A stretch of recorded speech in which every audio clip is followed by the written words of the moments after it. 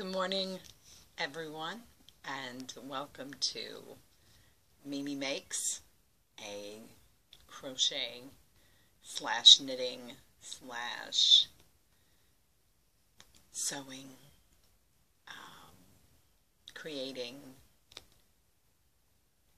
blog, I guess we could call it. I am Beth, Dora Beth Bays, and um, I learned to crochet, knit, and embroider when I was just a little over seven years old. My grandmother would come to our house when mother would go into the hospital to have another child. I am the second oldest of six, and um, yes, I was the one that would sit and listen and learn how to do the uh, wonderful crocheting and knitting and embroidering and tatting that my grandmother would teach us, um, teach me.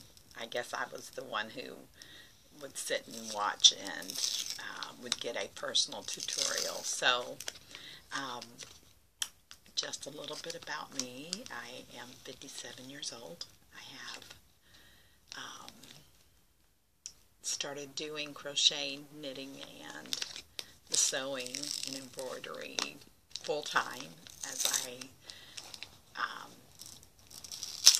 don't leave my home very often. I have a very uh, rare disease called hypogammaglobulinemia, which is just a very big word that uh, means that my body does not make immunoglobulin or um, in layman terms, I don't have any weapons. Uh, I don't have any ammunition uh, in my weaponry. Um, I would say that uh, another way to say it is if you go out to um, battle and you're on the front line, but you don't have any ammo in your um, in your weapons. That's me. Um, so I struggle with my health. I struggle with um, bronchitis, sinusitis. I'm struggling right now with um, laryngitis. This is not my normal scratchy sounding voice. Um, I just have a lot of other things going on with my um, intestines and um, yeah, just a whole lot of gut issues that um, were not addressed for many years because I was just, um, I was sick so often that I was, I just didn't get treated medically um, as a serious patient. I was considered probably uh, a hypochondriac by my primary care providers who um, would literally say to me when I would come to an appointment, so the nurse says you got several things going on today, but uh, as a doctor with a full-time um, job of seeing patients on a daily basis, I can only treat one of your ailments or complaints today. And I was like, no, um, today I'm dealing with this, this, and this, and I will not be able to come back tomorrow for another copay or next week to pay another copay. I have a lot going on. I'm being ignored by you. I have been here so many times and you blow it off and say, oh, you just have allergies or you just have something else going on, or you should probably try to change your diet because you're always um, sick or throwing up or having gastric issues. You should probably watch what you eat. So, hmm, this has gotten into a little more detail, hasn't it? So, I'm dealing with um, finally having vindication for knowing something was definitely wrong with my with my body um, and suffering through it because I would not um, go see the doctors because I didn't want to hear them uh, belittling me, making fun of me, or acting like I just had um, the need for attention. Yeah, they made it sound like I was a drama queen and I just needed someone to give me attention for the day or, you know, talk to me about my health issues. When all in all, I had a primary immune deficiency, and that's where um, the hypogammaglobulinemia word comes into play. Um, I was diagnosed actually after seeing a new primary um, who said to me right off the bat, You are a very sick lady. And we need to get to the bottom of this. There's a mile long list of medications you're on. We need to see why you're on them. Uh, how can we better help you with your pain levels, uh, your gastric issues, uh, all of the things that you're being treated for. We need to get to the bottom of this. Um, and interesting enough, he said to me, I have been reading over your charts for the last three days, uh, preparing for this appointment today. So I'm here to listen to you and see what's going on. And I can tell right now that you are not well. Let's see what's going on here.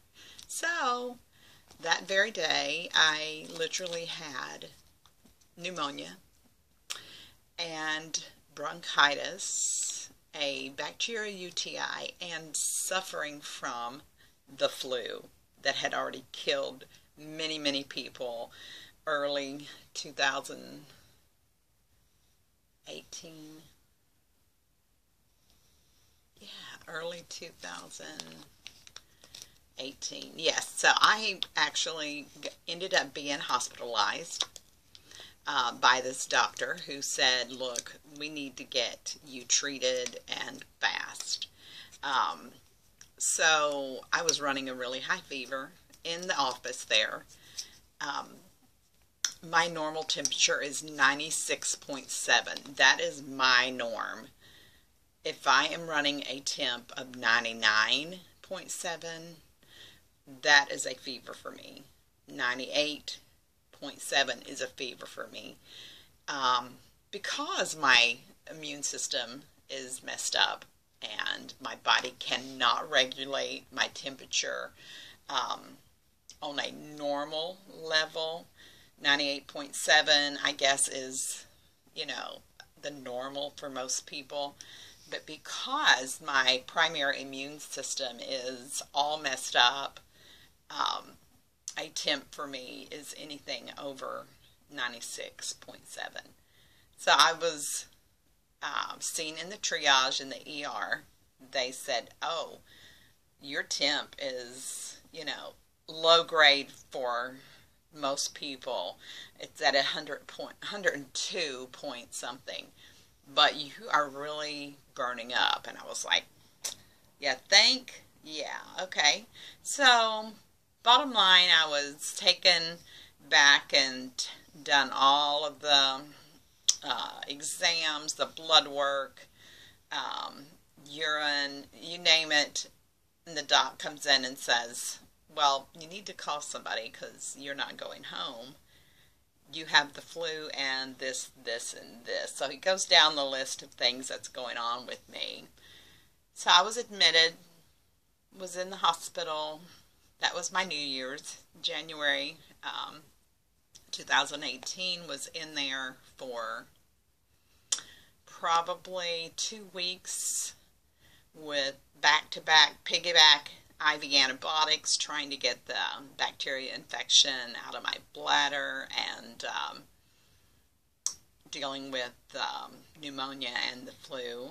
Um, around the clock respiratory therapy. And then when I was discharged, I had um, uh, my primary refer me to an immunologist because I had told my former primary that I think there is something really going on. I'm sick all the time. You need to really, you know, order some other labs to find out what's going on with me. I think I have some immune issues. And her words to me was, honey, we just don't order blood work on a whim. And I'm the doctor here. I know what I'm doing. And I'm thinking, sure you do. That's why I am here all the time and I'm always sick and I go home sick and come back the next week sick because you do not take me seriously. You're not checking into my medical records. You really don't have a clue what's going on with me, how many infections I've had to deal with, how many antibiotics I've been on that hasn't worked. So something is wrong and you're not taking care of the problem. Um, yes, I've had two surgeries this year, 2019. I had uh, rotator cuff repair on this shoulder that needed to be done for at least two and a half years, but the same former primary uh, care provider told me, there's uh, nothing going on over here. You just have a little bursitis. Uh, toughen up, deal with it. You know, work that arm. It'll go away. The more you work it, the the you know quicker you'll heal. And surprise, my rotator cuff was torn into places. I mean, just torn into two, uh, severed, and she just had blown me off. Uh, finally sent me to physical therapy. Physical therapy wouldn't touch me. Said, look, there's a really bad tear. You're dealing with some serious issues in here. What you need is to see an orthosurgeon. Told her what they said. She has a meltdown. It's like, whatever. So she sends me to the orthosurgeon. He does the um, uh, MRI and it's like, wow, uh, yeah, we need to get you in for surgery. Yes, so I ended up having to have surgery on the shoulder. Um, two years. Two years after the accident that caused it. Um, so that was finally done and thankful. And then I've had pacemaker surgery. That was in this was done in February of 2019, and the pacemaker surgery was, mm, yeah, there's a horrible scar. The pacemaker surgery was done May the 6th of 2019. Um, that needed to be done long time ago, but when you can't get a doctor to refer you or send you to someone who can help you, uh, you suffer and that's how a lot of people die. Just saying. Uh, my heart rate was at 35 sometimes, as low as 35. Um, don't know how I survived through the night. Sometimes I um, was blacking out behind the wheel. Uh, so I had not driven since December 17th, 2015 because of blackouts. And finally, um, cardiologist said, look, you got some heart issues. Your heart rate is uh, totally dipping down to the point where you're uh, going unconscious. Surprised you haven't just died, you know, in all of those wrecks you've been having, um, where you don't know what's going on. You're just like out of it. Yeah, it's been a little bit crazy. So I do have some chronic health issues. I have two college degrees. I really am not working in either field at this time um, because of health-related um, issues.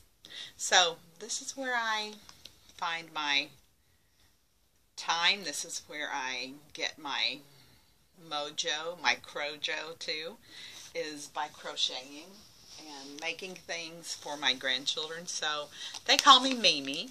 So I think that I'm going to uh, call this blog Mimi Makes because I want to make things for my grandbabies. Um, I want to make things for my family, for people I love. and I want to make things for um, for myself to be able to feel accomplished because there are so many things that I cannot do anymore. I um, have taught school, lived in the petri dish where all the germs and ickiness is, um, snotty nose, kids, feverish kids, and not knowing that I had a primary immune deficiency in every little germ was just going into my nostrils and mouth and wherever um, from the littles. And as a child, I was sick all the time. Um, if my siblings got chicken pox, I got chicken pox worse. If they had the measles or mumps, it was double um, issues for me because I had no germ fighters or antibodies to defend me from all of the stuff going on.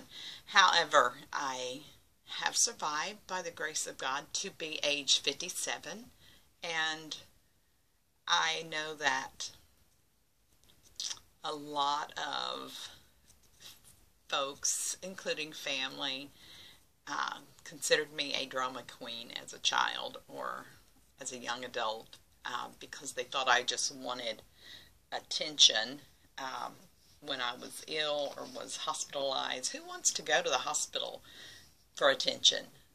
Nobody wants to be in a hospital.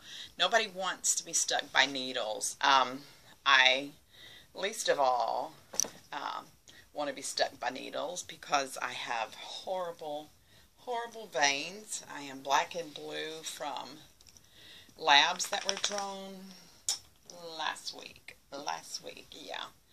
And I'm still battling with, yes, bruise, bruise. Six sticks before they actually were able to draw enough blood to um, do the lab work. That was necessary. It's a little insane. But now that you know a little bit about me, not a not everything, because I can't say it all at one time, but um, I absolutely love crocheting. It calms me down. It takes off a lot of the anxiety that I deal with from daily basis with uh, medication and the things I have to do to survive. Um, I do get a infusion treatment every three weeks of HyQvia, which is a um, medicine that is made using uh, human plasma and other um, materials or medicines to infuse into my system um, immunoglobulin. I get 50 grams of immunoglobulin, uh, immunoglobulin every three weeks, and I infuse it subcutaneously, which means through my soft tissues in my body. Uh, because I have no veins, I do not go to the infusion center and have it done intravenously.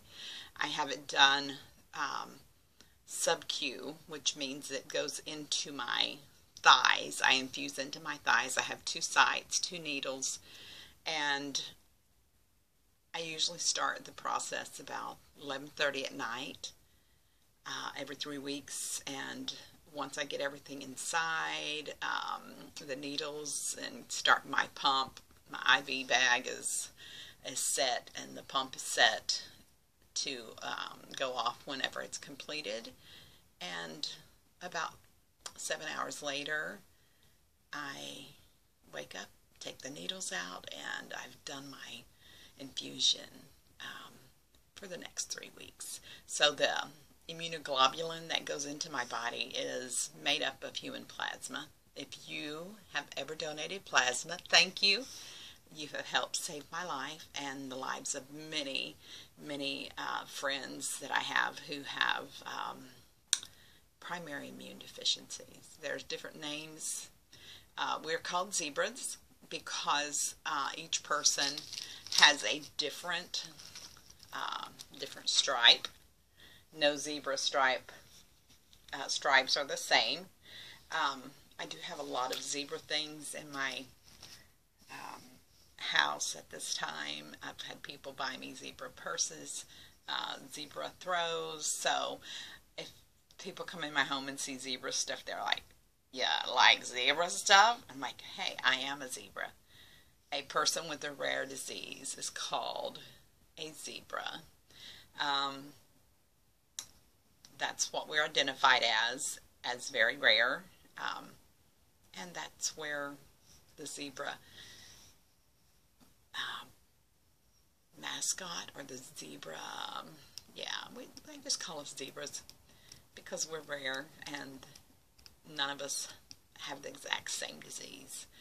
Every every person with the rare disease has different um, subclasses that identify them and identify their blood issues or lack of uh, cells in their body that work properly to fight off germs. So that's where we are right now. And um, I hope I haven't bored you to death with my stuff. Maybe in a next blog I will share some of the things that I have to do to prepare for my infusions. And um, some of the things that I do while infusing, if I'm not able to sleep, is crochet. And behind me is some of my wonderful um, yarn that I have accumulated. A lot of this is my stash from years ago. Uh, some of it is from a wonderful friend who um, was able to acquire a bunch of yarn from an estate sale. And she blessed me by sending me a couple big boxes of the yarn that she didn't feel she could use. And um, we just made a little exchange. And I'm just tickled that um, there's something that I can do uh, without being out in the public arena exposed to all kinds of germs and stuff. Pretty much I stay in my Yarnscape or in my home unless I have medical appointments and I have just begun uh, stepping out of my fear factor area of, oh, I'm going to catch something, to going to church at least once a week. Yeah, I miss church terribly. I used to be in church all the time, uh, three days a week, three times a week um, singing in the choir, just being in the crowd of people and getting sick and sicker and not knowing why. So when I was diagnosed, I sort of like became a hermit, I guess, somebody that never leaves their home because of fear. So I'm trying my best to believe and um, allow the infusion to work for me. How do you know that the infusion is working for you if you uh, don't give it a chance to do uh, what it's supposed to do, prevent you from being sick. So being out in the public arena, I usually wear a mask, uh, cover up. When I fly, um, I definitely wear a mask because, you know, in an airplane, you're just breathing recirculated oxygen. So um, I do take care of myself in that respect because um, I have the chance of getting sicker than most people when I do get sick. So protecting myself by wearing a mask is definitely something I do in hospitals, uh, at doctor's appointments, and on the airplane. So those are my three uh, places that I definitely will not go without protection. Um, just because there are risks out there and I really have um, no germ fighters to defend me. The ones that are being infused in deplete in three weeks, so I have to do it again. So there we go. Uh, I have to do that. My, um, oh, today in the mail, I did get uh, some wonderful, wonderful yarny goodness, which is just my favorite way of describing um, the wonderful yarn that comes to me that I order. I don't normally shop in public. There we go again with that fear issue. Um, but I order my mail or my yarn online. Um, so it's a surprise to me what comes as much it is as it is for anyone that's watching this. It's probably um, crazy for some people because you're like, hey, how did you, how do you not um, go out and feel that yarn before you get it? Well, I did when the Hobby Lobby haul was going on. I managed to get out there and get me some good stuff. A lot of this is the Hobby Lobby. Um, but, yeah, this stuff here is Hobby Lobby yumminess that I am looking to acquire more of. But Hobby Lobby is like, we don't have it anymore. This is September Sunset and there was only three skeins of this when I came uh, into my local Hobby Lobby, and I need more of it to make a beautiful scarf for a wonderful friend. Um, but here we are with a I have no strength. I'll be right back.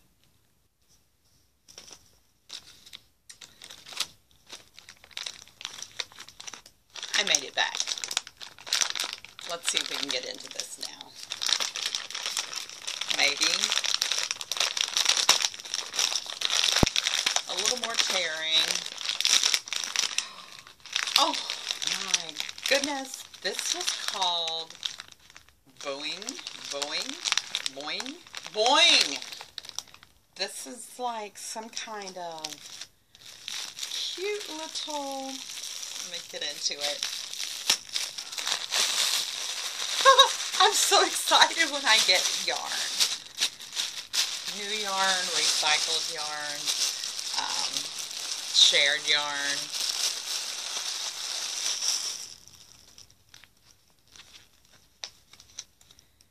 Uh, Bernat Baby Stretch. Look at that. Oh, oh my heavens. It is so stretchy. That's why it's called Boing. Boing. We have 80 grams, 2.8 ounces, made of 48% acrylic, 44% cotton, 3% polyester, 3% nylon, and 2% elastic. This one is called Trampoline. Uh, this was purchased from a um, outlet that uh, helps companies that are going out of business sell their yarn. They will go in and purchase whatever's left over and sell it as a discount to folks like me. Um, I found out about this group through a beautiful secret yarny, yarnery crochet community that uh, I am a part of. And this is from a company called Discontinued Brand Name Yarn. Discontinued Brand Name Yarn.com. You can look it up under DBNY. Um, wait. Yeah, DBNY. Um, or my invoices from Cherry Tree Hill Incorporated, Barton, Vermont. So these sweet, sweet little um, balls of yarn were $3.50 each. This one is called Blue Boing, and it's the same weight, same everything, but Bernat Baby Stretch. And I can see that it was $7 a skein at the little yarn shop that went out of business and the this company went in and got the rest of their inventory, paid them for it, and are giving us a crazy discount. Doesn't have a smell, so amazing. I actually um, was able to get this yarn for total of $5.03 for both of them plus shipping because they were having like 80% off sale at the discontinued brand name yarn store and this was cheap cheap cheap now here is a little trick that I have completed. This is a completed whip. Um, if you're wondering, a whip is uh, a work in progress. So this is no longer a work in progress. This is a done deal for my sweet, sweet new um, baby doll that's coming into our family. He's he's almost here. Um, after 16 years of waiting, my first cousin is having her first child, and it's a boy. This is the cute little jumper onesie romper that I have made for him. Um, yes, I just went a little crazy using my own uh, stitch uh, and design here. Of course, you can probably find something similar uh, if you look, but I did my own thing. And this is the absolutely beautiful and soft and yummy, cuddly corner to corner afghan that I made for this precious baby. And I just could not resist adding a little bit of something special to go with this Afghan. So I got a little creative and created a cute little outfit for him. And his mama is already like, ah, I can't wait for him to wear it. So he should be here any day now. So I need to get this packaged up and delivered to this sweet mama and papa so that they will have it when the little man makes his arrival. His name is Waylon. What? I know, right? Waylon? Oh, Waylon. What a name. What a name. He's going to be carrying that big name and so excited to deliver this precious gift to him. Throw that over there um, with my other stuff, but this was the sweetness for today. It's going to make something cute and adorable. Um, I do have some sweet, sweet granddaughters who love these brilliant, bright colors, so there might be some hair bows made out of this business. Boing. Let me do that again. Boing. Boing. Lucky, come and say hello. Come and say hello to all of our friends. My sweet little fur baby is trying to figure out why he's not getting all the attention today, but hey, stuff like that happens. This stuff here is the most beautiful dark horse yarns from that same place. Discontinued name brand yarns. And I'm making a scarf out of this with a matching hat and uh, fingerless mitts for my daughter.